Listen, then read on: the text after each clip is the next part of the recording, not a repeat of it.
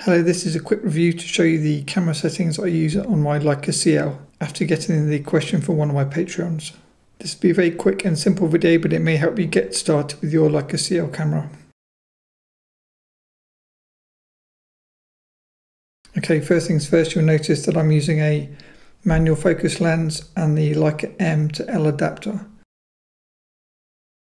I'm showing you this particular camera setup because people tend to have more questions about using manual focus lenses than they do with say the autofocus kit lens. So first things first, let's turn it on.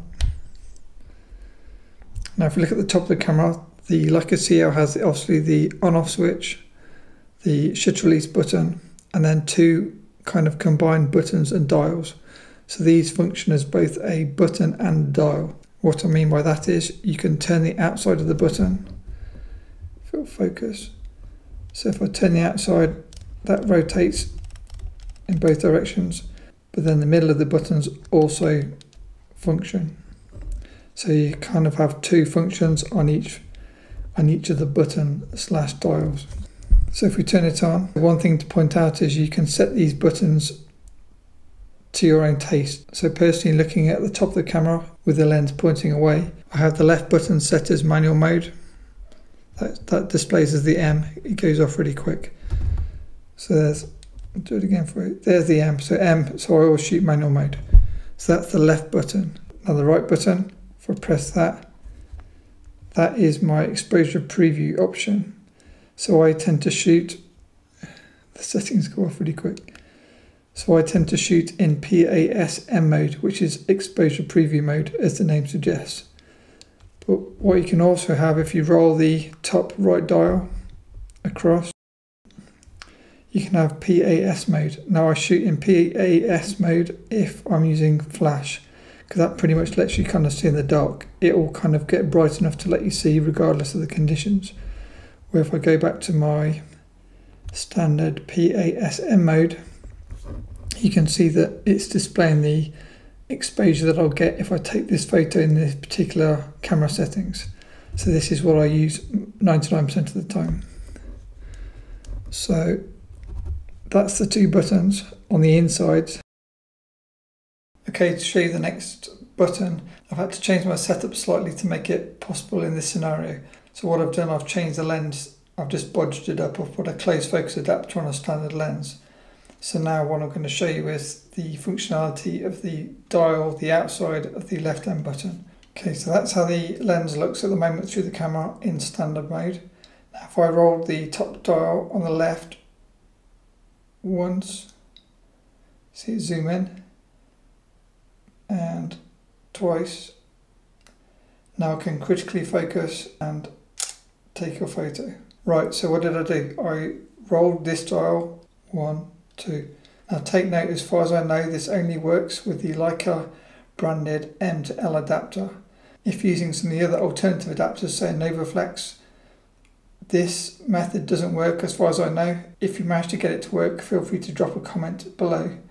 So I believe you have to use the arrow keys here.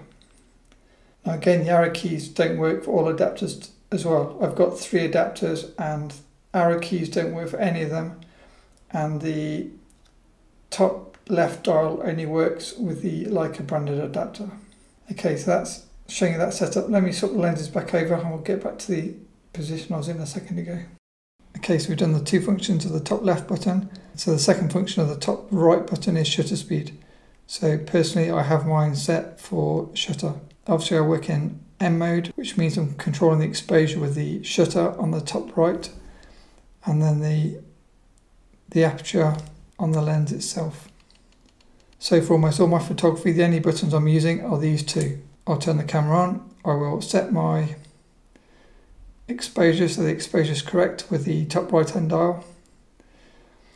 And then when I go to take my shot, I will roll the outside of the left hand dial, one stop, two stop, and take the photo, and that's it.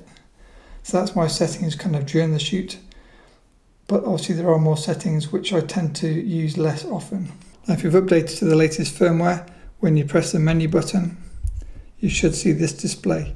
So you'll see personally I'm using manual mode. I tend to use ISO 200 and 400 the most, but I'll go up to 3200 quite happily and ISO 100 in bright conditions. And shutter speed, I tend to try to shoot at 1 over 60 or faster. Now, because I'm used to film cameras, I don't use a lot of the menu settings. So personally, I'm just using the AFS mode and so that single shot, not continuous. I use the black and white preset, which means I see the pictures in black and white, so it helps me visualize the final photo, which I tend to process in black and white anyway. And I shoot in DNG RAW mode.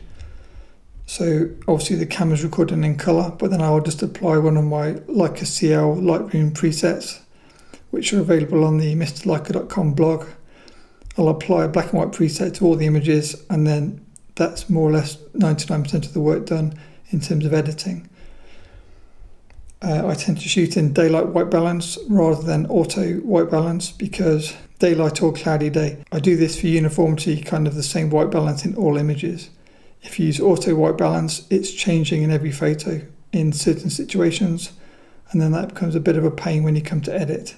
So personally, I set it to the desired lighting situation and then I leave it at that. So normally daylight or shade. That's pretty much all the menu settings I use. I just try and keep it super simple. So once it's set up like this, once, as I say, the bottom half of this table don't change in any of my photo shoots, 99%, maybe white balance occasionally. I always keep it in manual mode. The shutter speed I'm changing on the top of the camera as, a, as I shoot. And anyone who's a hybrid shooter, I tend to set the ISO to my film speed. So when I'm shooting something like the Leica three cameras or the Leica M3 alongside this, it helps me visualize the exposure because I will know that if I'm shooting at ISO 400 on the digital camera, 1 over 60 f2 aperture, then if I dial the same settings in on the film camera, it will give me the same exposure. So it's just a lazy way of doing your exposure settings if you're using film and digital side by side. So if you want to use the same settings as me, A and S here.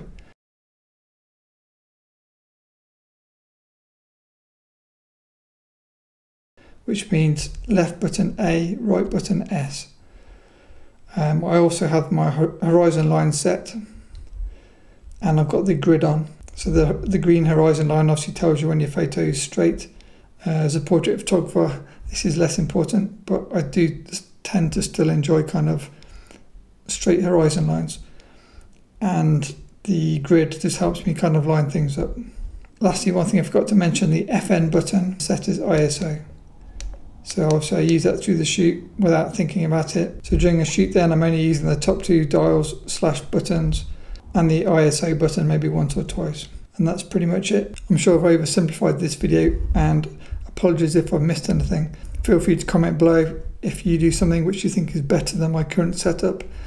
This is just what works for me. I tend to use menus once and then once they're set I tend to forget them and keep things as simple as possible. This is obviously a diopter if you're new to the Leica CL. So you, you look through the viewfinder and turn that until the vision is clear for you. And I'm not sure what else I can tell you. I was using touchscreen, but obviously you can use the, the arrow keys to work around the screen as well.